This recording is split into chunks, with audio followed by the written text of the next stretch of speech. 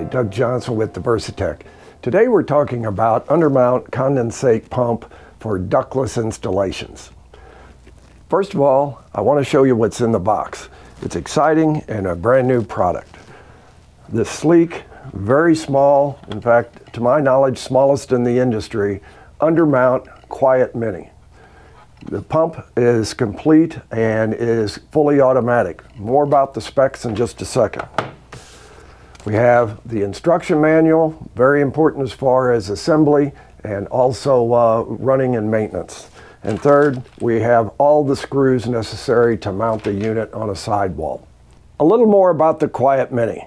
It's a new quiet design. And what makes it so quiet is our new technology called Quiet Piston Technology. This ensures quiet operation. And for all you numbers guys, that's 21 dB. It's dual voltage, 115 or 230 volt, and this little package carries a lot of power. 26 foot of lift and 7.7 gallons per hour of pumping capability. It has a removable reservoir for easy maintenance. Let me show you. We'll talk more about it when it's mounted on the wall. Your reservoir is here. Your quiet piston pump is here. You have your power line, and then also this is your discharge line on the unit. Now, to, for maintenance, there's a little switch right here, a button, excuse me. You push that in. This drops down for easy maintenance and cleaning. You see here, we have our float switch and is protected by a wire screen so that no interference from the incoming drain from the mini split head. So anyway, to put it together, you just push it in like that, pop, back into the slot, which is right here, and you're off and running again. Okay, this is also built with an overflow switch. So if we get to the point where the primary float switch fails, it does have overflow protection. And this single unit can be used up to a 54,000 BTU unit. And again, for you numbers guys, that's 16 kW. We have a, a demo here that is going to show you both the front and back of the unit. Now right now we have the shell off of the unit and we're looking like there's an invisible wall here and we're looking back at the indoor head. You'll notice here that we have the drain line that's normally tucked up inside when they ship the unit. And again, we've brought it down like this. Now there are several types of configurations for drain lines. They can come out either side or they can come down.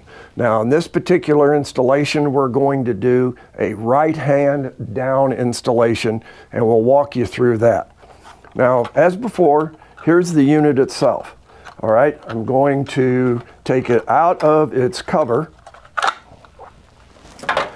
And you'll notice here that there are four rubber grommets on this side of the unit and two rubber grommets on the other side of the unit. So in this particular case, we're going to mount a down unit such as this, and it's important to know that these four grommets fit inside this case and always go to the case side. So the two grommets will go to your wall. Okay, that's covered in our installation, but again, sometimes they uh, we do get a couple of calls and, uh, well, gee, how do we uh, get this thing to uh, fit correctly? All right, so what we're going to do now is we're going to show you the electrical. Again, see these yellow tags? They are extremely simple as far as telling you what does what. The light blue lead, and we'll get uh, into that in a minute, is your common. Your brown lead is your hot and the two black leads on here are for your um, uh, safety switch or also what is more common is look on your manufacturer's manual and check the and break the temperature sensor line on the AC indoor unit.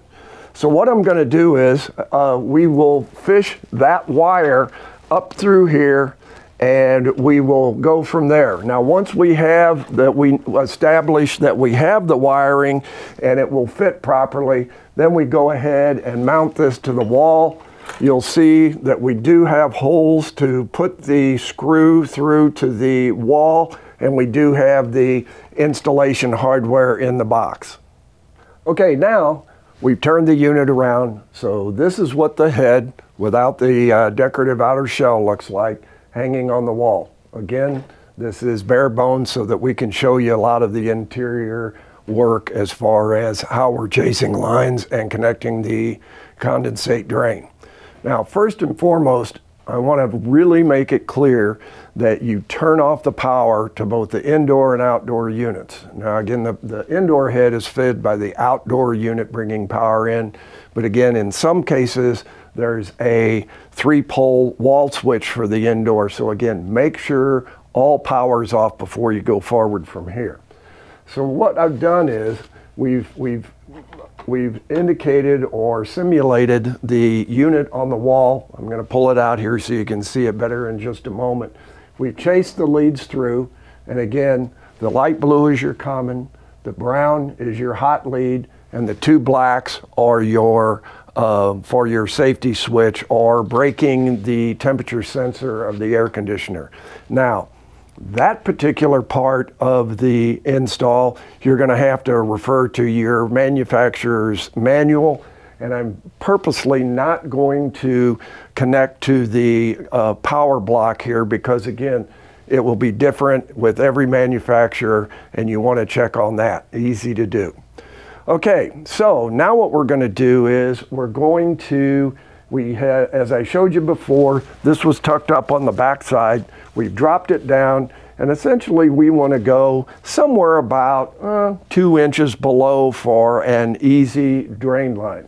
You'll notice that this is insulated because again, it's cool or cold water coming out of the out of the head and again that will condense on the outside as well and again it's like a glass of uh, cold iced tea you know you don't want that exterior con uh, condensate occurring either. So what I'm going to do is I've already pre-measured about here. I'm going to cut the line. And so now, now we have the insulated line and it's a 5 8 drain line. And because we are again in a right hand configuration, we're going to add that pipe right into here like so. Now again, I want to point out that you want to be sure that these four holes are, or, excuse me, the four grommets are facing outward, okay? Because when the cover goes on, there are pins inside there that will hold everything in place nice and tight against the wall. You also want to make sure that you don't cut a lot of condensate line down inside here. You only want to overlap here about three quarters of an inch. If you don't, you could run the risk of interfering with the internal float there's a screen in between, but it could be possible. And again, we want to make sure that we have proper installation. Okay, now what I want to do is we're, we're mounted on the wall. We have our condensate line in place, and now it's time to check your installation. So now you want to power up, and I'm going to ask that you take a little bit of water, pour it into your condensate drain pan, it's going to flow down into the reservoir, and as it fills, that switch is going to kick on. Now the pump will run about two or three seconds, and then it will kick off, okay? Because as it pumps the water out, and again, here's the discharge line, and that and the discharge line for the pump would run back up into the back of the unit and out through the um, uh, hole that you've put in the wall where you've mounted the unit itself. So, so now we want to check and make sure it kicks off and it kicks on. So you poured the water in, the, the float came up, kicked on, it ran about two or three seconds, and then you want to wait and make sure that it kicks off. So I'm a little bit of a overdoer as far as, but when I leave a job, I want to make sure that it's perfect. So I'm going to pour water in there somewhere between 8 and 10 times. And here's the reason why. One, In that period of time, you're going to check for any leaks that you might have anywhere through it. And I want a special note, the first two times that, that you engage this pump, it can be a little bit noisy. And what that is, it's burping the air out of the system. And after the second or third time, as far as kicking on and off, you've purged all the air and you'll enjoy that quiet 21 uh, decibel level as far as the Quiet Mini is concerned. So after we do that, we know we have no leaks. We have everything secure here. It's to the wall. We put the cover plate on and you're ready to go. We're in the final stages of installation. We have the pump connected to the wall. We now have the cover on it. Notice how well the colors match and also look at the low profile. It is, it is again about half the size of our competition and again, you will not believe how quiet this thing is. Do your customer and yourself a real favor and use the Quiet Mini Split for your undermount solutions. I'm Doug Johnson with Diversitech, and thank you for your attention.